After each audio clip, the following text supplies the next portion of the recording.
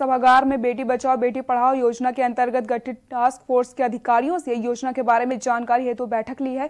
उन्होंने बताया कि टास्क फोर्स द्वारा पूरे आंकड़े उपलब्ध नहीं कराए गए, जिसके लिए उनको तीन दिन का समय दिया गया है। साथ ही उन्होंने बताया कि इस योजना के अंतर्गत जितने भी बालिकाओं के स्कूल हैं, उनमें अलग से टॉयलेट उपलब्ध कराने के साथ साथ पूरे ज़िले में कुपोषण के शिकार बच्चों सहित टास्क फोर्स को निर्देश दिए गए।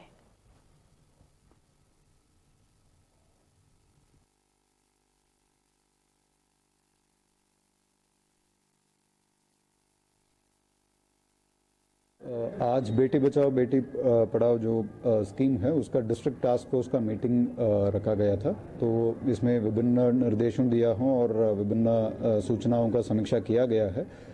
फ़िलहाल मेन निर्देश ये दिया है कि जनवरी एक तारीख से फरवरी पंद्रह तारीख तक डोर टू डोर सभी ज़ीरो टू सिक्स का जो बच्चे जो जन्म हुए हैं, उनका सर्वे करके चाइल्ड सेक्स रेशियो का आंकड़ा जो है लेटेस्ट अपडेट देने के लिए कह रखा हूँ।